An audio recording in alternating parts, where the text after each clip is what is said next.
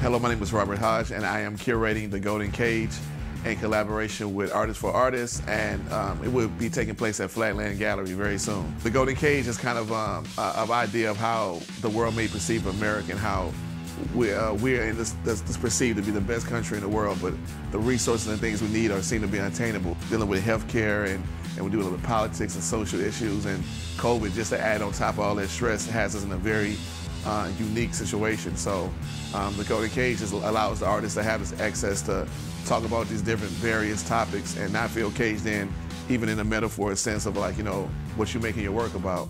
So um, it allows them to, like I said, talk about these social issues, COVID, um, you know, this emotional stress we're all dealing with, just kind of being in our homes all day long and learning how to interact with each other online. I want to thank Artists for Artists for all the work they've been doing in the short time they've been an organization and nonprofit.